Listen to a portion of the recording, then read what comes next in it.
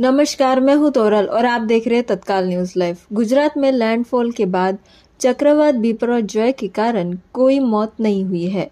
NDRF ने इसकी जानकारी दी है। एनडीआरएफ के डीजी अतुल करवाल ने कहा है कि लैंडफॉल से पहले दो लोगों की मृत्यु हुई थी।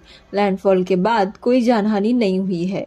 24 जानवरों की मृत्यु हुई है और 23 लोग घायल हुए हैं। करीब हज़ार गाँव में बिजली की आपूर्ति बाधित हुई है। 800 पेड़ गिरे हैं। राजकोट के अलावा कई और भारी बारिश नहीं हो रही है। डीजी ने कहा है कि चक्रवात थोड़ा कमज़ोर पड़ा है। बीपर और जॉय के लैंडफॉल से पहले दुर्भाग्य से दो लोगों की मौत हुई है। हज़ार गाँवों में बिजली की आपूर्ति बाधित हुई है। हमारा फोकस जीवन को जल्द से जल्द सामान्य करने की ओर है। उन्होंने कहा है कि तूफ़ान जैसे कमज़ोर और गहरे दबाव से परिवर्तित हो रहा है तो इससे दक्षिण राजस्थान में बारिश होने की संभावना है।